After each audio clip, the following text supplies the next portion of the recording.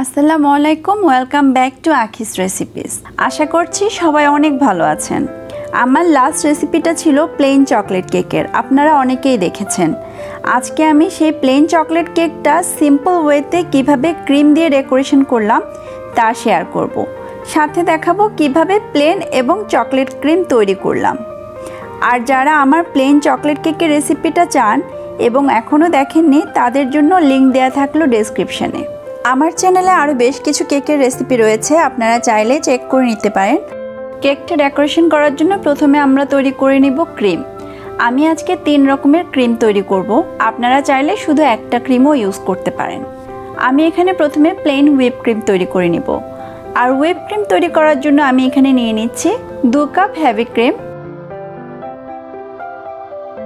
আর আমি এখানে নিয়ে নিচ্ছি হাফ কাপ পাউডার সুগার আপনারা চাইলে রেগুলার সুগারকে পাউডার করেও নিতে পারেন। এখন এ দুটো ইনগ্রেডিয়েন্টস ইলেকট্রিক বিটার দিয়ে খুব ভালো করে বিট করে নেব। আপনারা চাইলে হ্যান্ড হুইলস দিয়েও করতে পারেন, এক্ষেত্রে সময়টা একটু বেশি লাগবে। ওয়েব ক্রিমটা তৈরি হয়ে গেল, এখান থেকে আমি অর্ধেকটা সরিয়ে নিচ্ছি।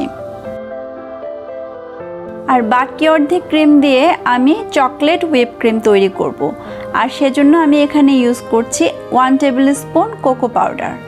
Whip ক্রিমের সাথে কোকো পাউডারটা আমি খুব ভালোভাবে মিশিয়ে নিচ্ছি।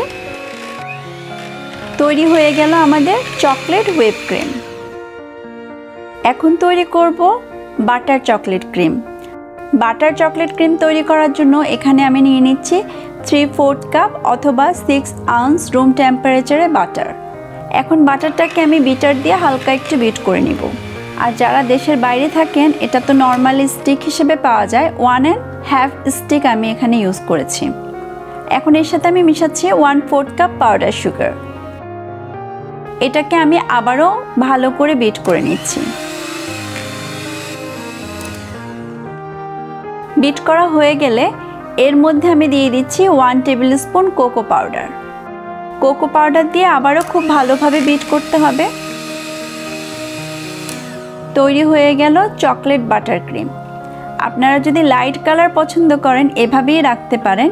বাটার ক্রিমটাকে আরেকটু ডার্ক করার জন্য এখানে আমি আরও one tablespoon cocoa powder দিয়ে হাত দিয়ে হালকা একটু মিশিয়ে নিচ্ছি।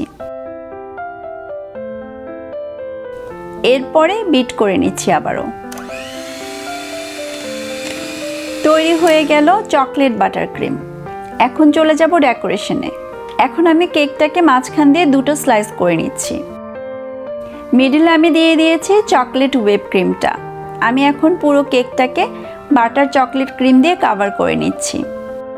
কাভার করা হয়ে গেলে এখন আমি চলে যাচ্ছি নিচ্ছি আমার পছন্দ অনুযায়ী। আপনারা আপনাদের পছন্দ অনুযায়ী ডিজাইন দিয়ে এটা ডেকোরেশন করে নেবেন। সবার সুবিধার্থে আমি ডিজাইনটা খুব সিম্পলভাবে করে দেখালাম। আশা করি ভালো লেগেছে আপনাদের। এই কেকটা আপনারা তৈরি করতে পারেন ওয়েডিং অ্যানিভার্সারি বার্থডে পার্টি অথবা যে কোনো অনুষ্ঠানে। আশা করি ভালো লেগেছে। কেমন লাগল কমেন্টে জানাবেন। আর কি রেসিপি চান সেটাও কমেন্টে জানাবেন। ভালো থাকবেন সবাই, সুস্থ থাকবেন, সুন্দর থাকবেন।